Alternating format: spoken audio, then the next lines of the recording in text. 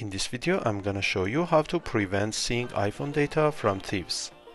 The trick I'm going to show you is something that you need to do right now in the setting if you want to protect your iPhone data before it being stolen.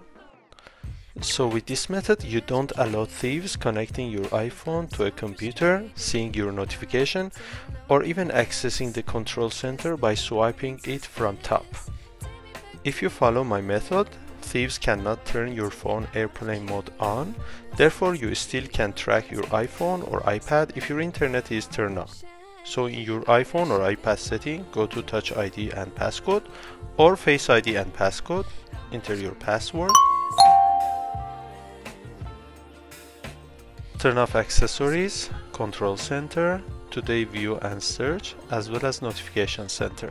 In this way, when your phone screen is off and you have a password on it, no one can access to notification center.